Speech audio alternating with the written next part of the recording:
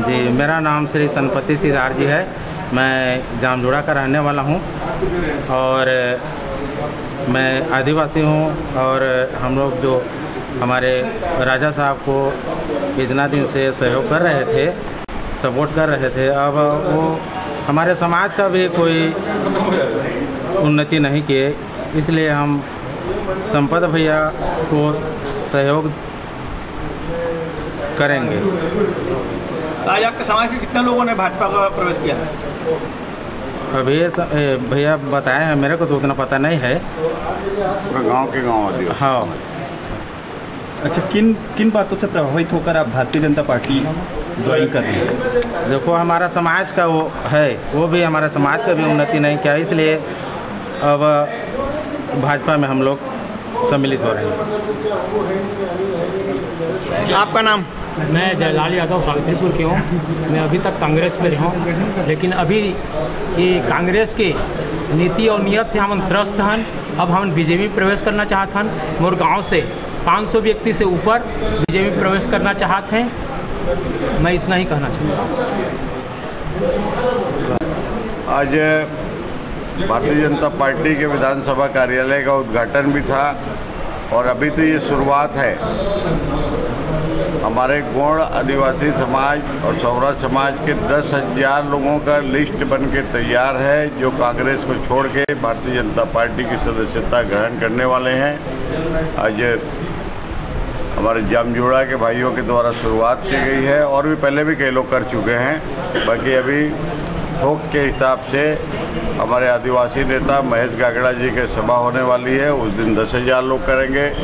अभी 21 तारीख को सत्तामी समाज के गुरु बालदास यहाँ पे आ रहे हैं। दशहरा मैदान में उनकी सभा है।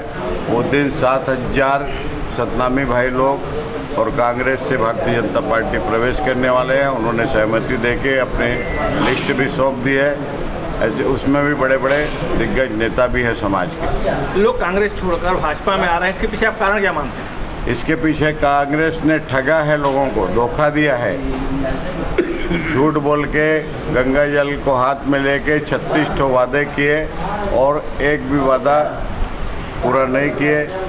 शराब बंद करेंगे बोले, शराब घोटाला, विश्व रिकॉर्ड बना दिए शराब घोटाले का। हज़ारों करोड़ का शराब घोटाला, कोयला घोटाला, व्यापम घोटाला, सीमेंट छड़ में घोटाला। यहाँ तक कि और गोठान के बाद गोबर खरीदी तक में भी घोटाला। तो ये घोटालेबाज सरकार से जनता त्रस्त आ गई है और इनसे मुक्ति चाहती है। इसलिए और भारतीय जनता पार्टी बसना विधानसभा में खासकर अभी पहली बार बसना विधानसभा में जन्मा हुआ, कोई इनका घर परिवार का, इनका बच्चा लड़ रहा है, ये समझ के भारतीय जनता पार्टी में सब लोग प्रवेश कर रहे हैं और कांग्रेस को छोड़ रहे हैं। उसका पीछे मुख्य कारण ये भी है। और मैं प्रत्याशी होकर बीच में आप मन के सबके स्वागत है।